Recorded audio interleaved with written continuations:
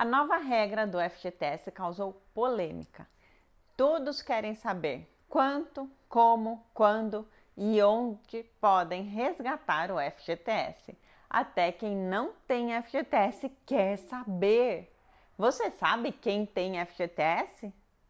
Eu sou Viviane Ferreira, planejadora financeira CFP, e eu vou te explicar tudo sobre a nova regra do FGTS. Antes, se inscreve aqui no meu canal, deixa o seu joinha para que esse vídeo chegue a mais gente. O primeiro ponto que preciso esclarecer para você é quem tem direito ao FGTS: trabalhadores pela CLT, trabalhadores rurais, empregados domésticos, temporários, avulsos, safreiros e atletas profissionais. O FGTS é o Fundo de Garantia por Tempo de Serviço e ele existe para proteger o trabalhador no caso de uma demissão sem justa causa e ele é como uma reserva de sossego, de emergência que ele tem para se manter por um período, nesse período que ele está procurando emprego. E a conta ela é vinculada a um contrato de trabalho registrado, CLT. Então, a pessoa pode ter mais de uma conta de FGTS, ou seja, a conta ativa do trabalho atual e a conta inativa dos trabalhos anteriores e que ele não tenha sacado o FGTS. Mensalmente, o empregador ele deposita 8% do salário de cada funcionário no FGTS. No caso do trabalhador doméstico, que antes nem tinha FGTS, com a revisão das leis trabalhistas há um tempo, há pouco, recentemente, agora tem FGTS. E ele é feito um recolhimento de 11,2% do salário. Gente, esses depósitos, eles pertencem ao funcionário, que pode resgatar em momentos específicos, e é aqui que entra a nova regra. É importante lembrar que esse depósito não é um desconto do salário, é um depósito a mais, uma obrigação do empregador da empresa que te contratou. Quanto que rende o dinheiro do FGTS? Essa é uma pergunta importante, porque rendia muito pouco, rendia 3% mais a TR, que é a taxa referencial ao ano. E essa TR ela está zerada nos últimos anos, ou seja, rendia 3% ao ano, muito pouco. E desde 2016 tem também uma distribuição de 50% do lucro do FGTS do ano anterior. Em 2018, com esse acréscimo, o FGTS rendeu 5,59% no ano. Só para efeito de comparação, a poupança rendeu ano passado 4,62% investimento e a renda fixa 5,45%. Então, antes rendia bem menos que a poupança, rendia 3% ao ano e desde 2016 melhorou um pouco com a distribuição do lucro que ajudou bem. Como se já não bastasse as dúvidas sobre o saque do FGTS, foi anunciado que a rentabilidade do FGTS vai aumentar. E essa distribuição de lucro, que antes era de 50%, vai passar para 100% a partir de 2019. Nesse caso, a estimativa é que o rendimento saia de 5,59% ao ano para 6,2% ao ano. Até que enfim, gente, até que enfim o FGTS vai render alguma coisa. Agora, isso quer dizer que vale a pena deixar o dinheiro lá? No meu ponto de vista, não. Principalmente pelo fato de que você é, tem acesso ao seu dinheiro e possa investir em outras coisas.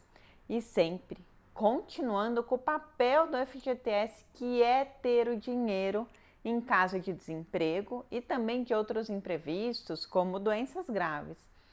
A nova regra de saques tem o objetivo que é injetar dinheiro na economia, mas sem prejudicar aqueles que usam o FGTS para compra da casa própria, porque você sabe, né, que os financiamentos para a compra de casas do programa Minha Casa Minha Vida usam os recursos do FGTS para financiar. Vamos entender então a nova regra para saque. Vou deixar bem claro para você, gente, que são duas regras diferentes. A primeira regra é o programa Saque Certo, que contempla o saque imediato de 500 reais por conta ativa ou inativa. Se tiver duas contas, pode sacar até 500 reais por cada conta. Não depende se, se tem o mesmo CPF nas contas. Não depende, é pelo número de contas. A segunda regra é o programa Saque Aniversário. Aqui precisa, aqui você precisa estar atento.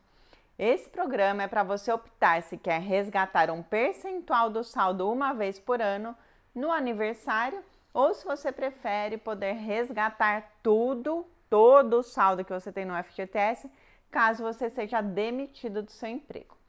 Veja bem, se você optar pelo resgate aniversário, se você for demitido, você não vai poder resgatar todo o FGTS, todo o seu saldo lá do FGTS. No aniversário, você vai poder resgatar um percentual somado a uma parcela adicional de acordo com o saldo que você tem lá no FGTS. Saldos menores resgatam um percentual maior e também uma parcela adicional menor. E saldos maiores resgatam um percentual pequeno e uma parcela adicional maior.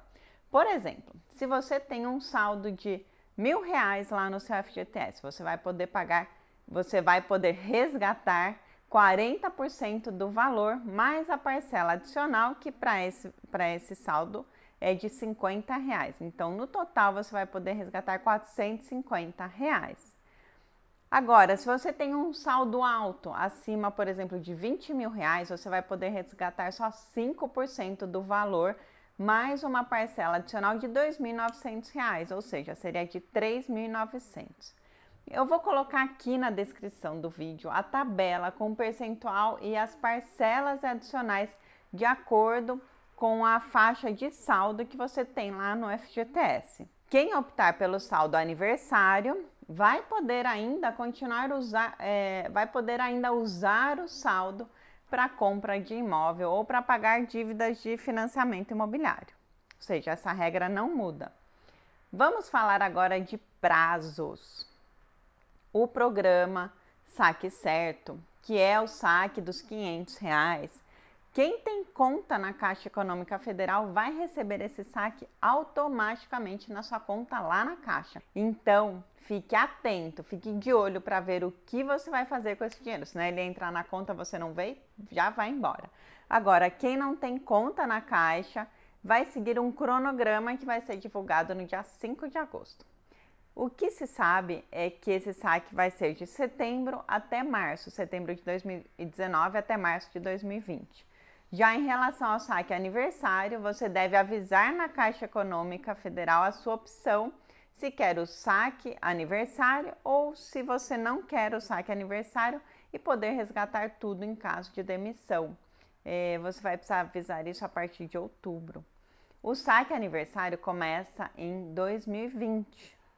E a grande polêmica é o que as pessoas vão fazer com esse dinheiro que eles estão resgatando, que eles vão receber desse saque certo, esses 500 reais por conta. Vão pagar dívidas? Vão consumir? ou vão investir? A aposta para movimentar a economia é que seja no consumo. Mas se a pessoa tem dívidas, o melhor é ela usar para pagar as dívidas.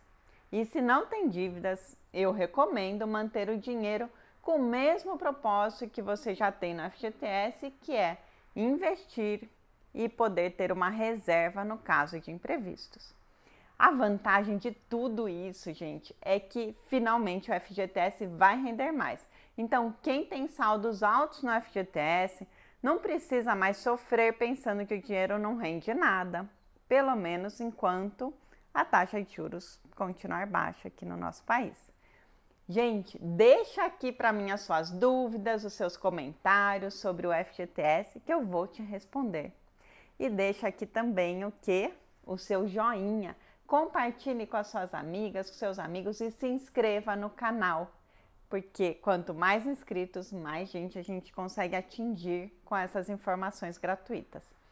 Obrigada e até o próximo vídeo.